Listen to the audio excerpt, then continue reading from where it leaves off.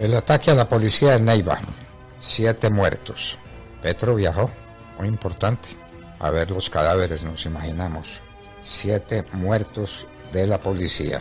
Uno se escapó milagrosamente de la muerte.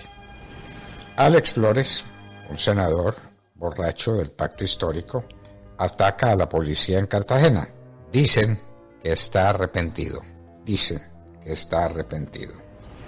Fue despedida del tenis, al parecer, fue su último partido. Serena Williams, la triunfadora en tantos torneos, la persona que congregaba una eh, mayoría apabullante en el recinto donde se juega el US Open. Cayó nada menos que Serena Williams y ayer cayó nada menos que Medvedev, el eh, campeón eh, defensor y el hombre clave para este torneo también. Ocho prominentes empresarios rusos han muerto en seis meses. ¿Qué pasa? Les está dando por morirse a todos. Vaya, vaya, vaya. Rusia corta de manera indefinida el gas para Europa. Ocho años de Ayotzinapa sin justicia. Apenas se han descubierto algunos cadáveres, los muertos de Ayotzinapa. ¿Qué pasó? Congelados 100 cargos en la Casa de Nariño.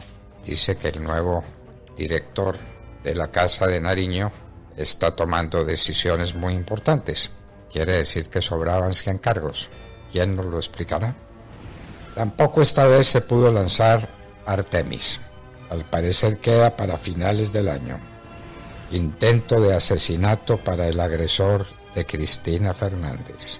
Vaya lo que pasa en la Argentina. Nueva explosión cerca de Zaporilla. Siguen jugando con más que fuego. Están jugando con energía nuclear. Dios santo. Daniel el primer huracán en el Atlántico parece que se disuelve en el Atlántico. Parecería que no hay peligro.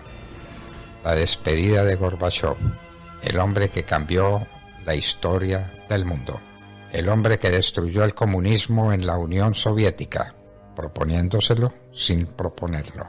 Lo cierto es que uno de los grandes del siglo XX falleció y le hicieron un entierro apenas protocolario Putin no asistió.